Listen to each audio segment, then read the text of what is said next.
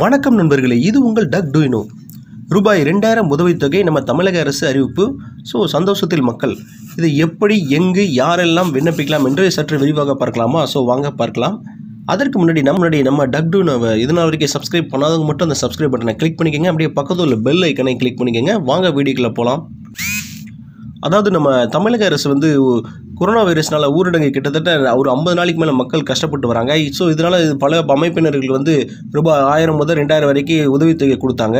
இதில் வந்து சில அமைப்புகளுக்கு வந்து நம்ம தமிழக அரசு கொடுக்காம இருந்தாங்க. ஸோ அந்த அமைப்புகளை கருத்தில் கொண்டு அவங்க நலனை கருத்தில் கொண்டு தற்போது வந்து ரூபாய் ரெண்டாயிரம் உதவித்தொகை அளிப்பதாக முதலமைச்சர் எடப்பாடி அவர்கள் தெரிவித்துள்ளார்.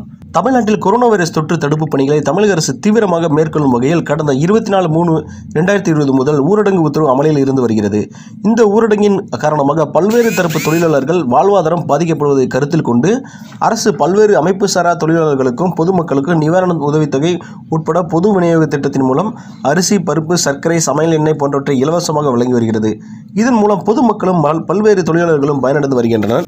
இதில் முடிதிருத்துவ நல வாரியத்தில் உறுப்பினர்களாக உள்ள பதினாலாயிரத்தி அறுநூத்தி அறுபத்தேழு நபர்களுக்கு இரண்டு தவணைகளாக தலா ரூபாய் ஆயிரம் உதவித்தொகை வழங்கப்பட்டு வருகிறது.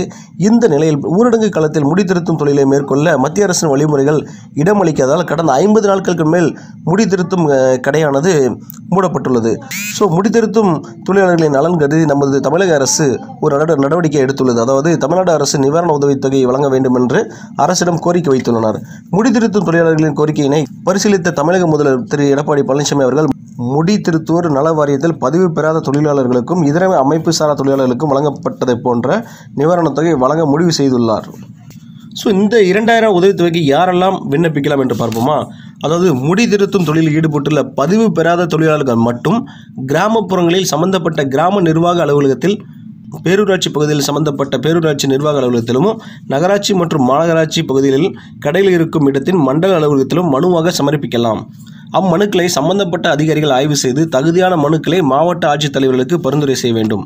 மேலும் மாவட்ட ஆட்சித்தலைவர் அம்மனுக்களின் மீது தகுந்த நடவடிக்கை எடுத்து ஏற்கனவே முடித்திருத்துவோர் நலவாரிய உறுப்பினர்களுக்கு இரண்டு தவணையாக ரூபாய் ரெண்டாயிரம் ரொக்கமாக வழங்கியது போன்ற நலவாரிய உறுப்பினர் அல்லாதவர்களுக்கும் ரூபாய் ரெண்டாயிரம் ரொக்கமாக வழங்க தமிழக முதல்வர் உத்தரவிட்டுள்ளார்.